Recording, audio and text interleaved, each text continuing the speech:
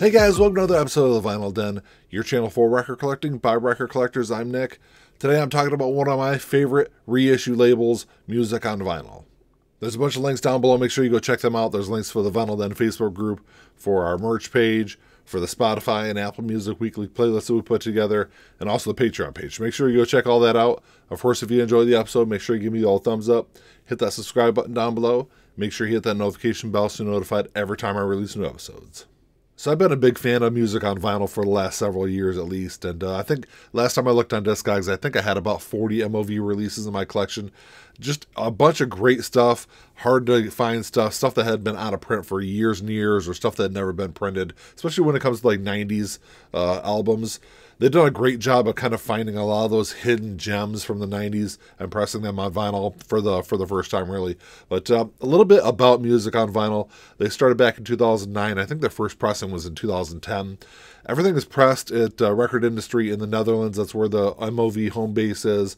And uh, they do everything in-house from cutting the lacquers all the way through to packaging the product and, and, and shipping it out. But i will say of the 40 mov releases i have like i said they all sound great. I don't have a sound quality issue issue with any of these pressings. You know, I, don't think I've had any kind of quality control issues, which is funny because that's kind of what everyone complains about over the last few years is how bad quality control is. It seems like our record industry in the Netherlands does a great job, top notch, with all that. So the question always seems to kind of pop up about how MOV sources their music. Is it from an analog source are they from digital sources? Are they cutting records from CDs? To the point where MOV, if you go on their question and answer page, actually has it all kind of laid out. Like I said, their whole process is on there, but specific to how they master music. And if you go on there, it says, What masters do you use? It says we use the best audio available to cut our records. We receive and use different kinds of masters, analog tapes, original metal parts, lacquers cut from analog tapes, and high res digital files 192, 96 kilohertz, 24 bit.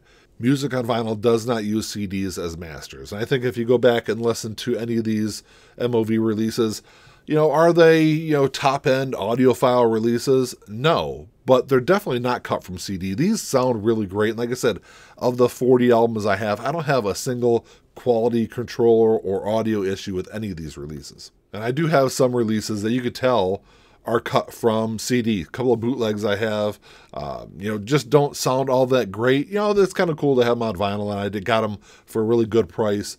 So it really doesn't bother me. But like I said, if you go back and listen to these MOV releases, they sound fantastic.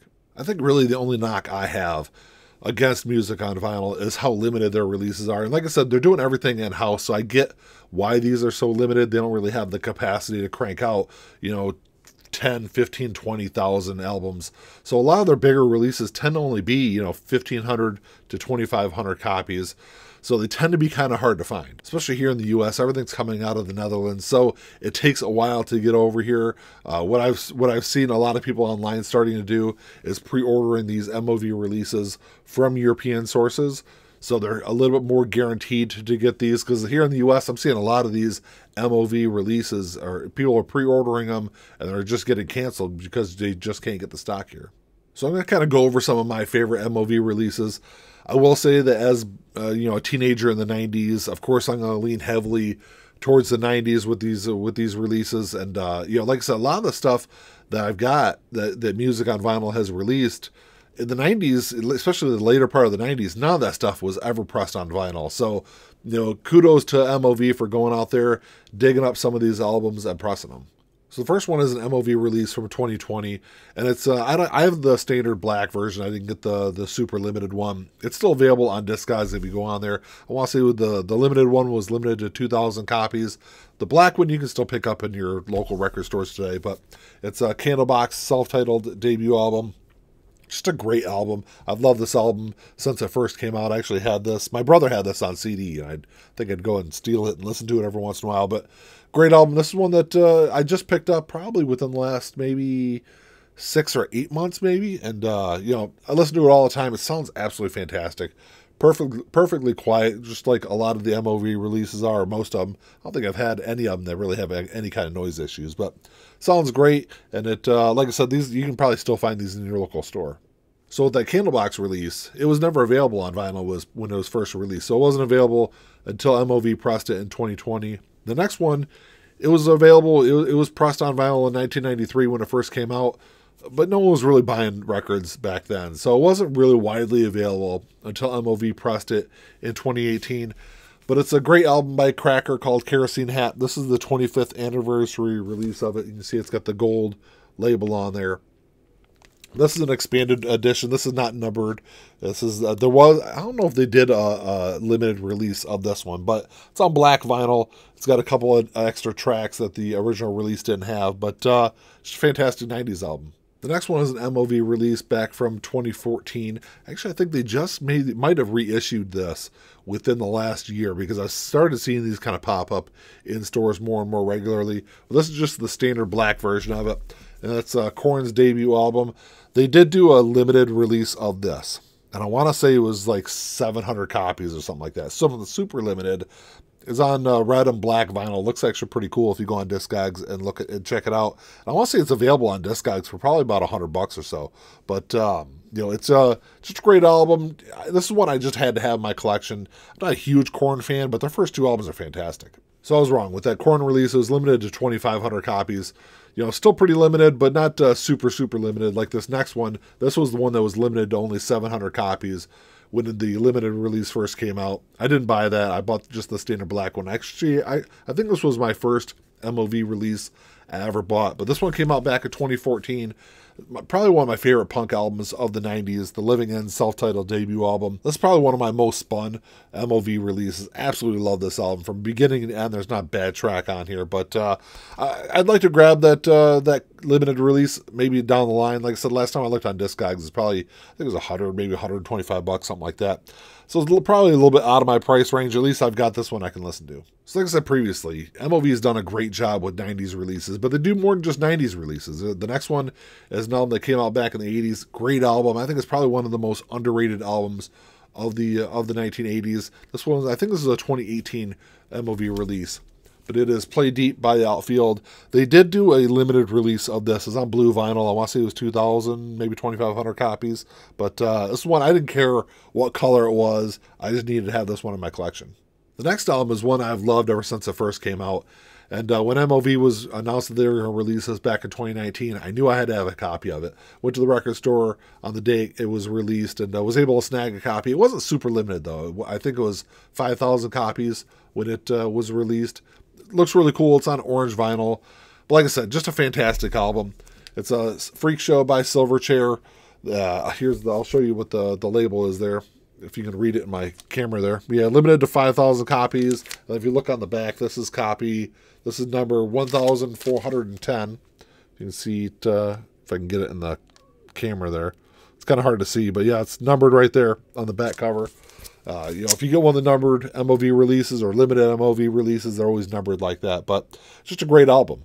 So if you're a Stone Temple Pilots fan and all of you ever listened to is their first three albums, I think you're really missing out on something. MOV released uh, their fourth album back in 2015. The when it was released, uh, the limited release, I want to say it was 2,000 copies. It was on white vinyl. Memory serves me correct. I got the, just the standard black one like I said, if you're missing out, if you haven't listened to number four, like I said, I think this might be Stone Temple Pilots' most complete album. The next one was just a great 90s album, and one that uh, wasn't a super limited release when it was released last year, but it seemed to be one of the hotter releases that MOV did last year. And uh, to be completely honest, when they announced this was was coming out, I forgot this album even existed even though I think I have it on CD, but it's been a really long time since I've listened to it. Probably 20 plus years since I've listened to the entire album. And when I got it and listened to it, I was really surprised how great this album is, actually. But uh, the album is Lemon Parade by Tonic. Uh, like I said, it wasn't super limited. Uh, this one's actually kind of picked up. Uh, it started popping up recently in my local record stores, but uh, like I said, if you're a 90s alternative fan and you haven't listened to this one in a while, make sure you go check it out. So last two albums I'll do together. One was released at the end of last year. The second one was released the very beginning part of this year. They're both fantastic albums. Uh, one was limited to 2,500 copies. The other one was limited to 2,000 copies. They're both kind of hard to find. I know a lot of people missed out on both of these releases, but uh, one of my favorite albums from uh, the 80s, one of my favorite albums of the early 90s. But uh, you got uh, Warrant's Dirty, Rotten, Filthy, Stinking Rich. This is the 35th anniversary copy limited to 2,500 copies. This one, I don't think this one's actually numbered though. It is, but you can't. I won't show it on the camera, but uh, it's copy uh, 1,696. But the way it's printed and the colors on the back, you really can't see it on there. But uh, just a great album. This one, like I said, was kind of hard to find.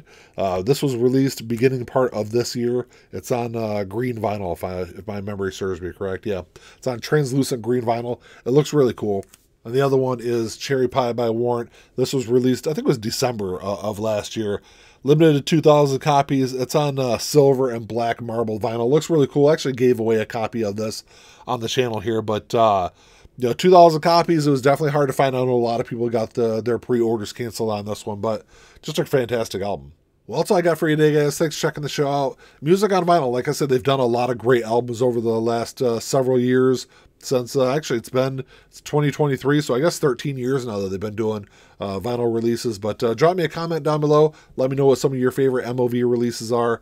Like I said, just a great, great label. I'm uh, really can't wait to see what they're going to release the rest of this year. I'm sure they got a bunch of great uh, albums coming out.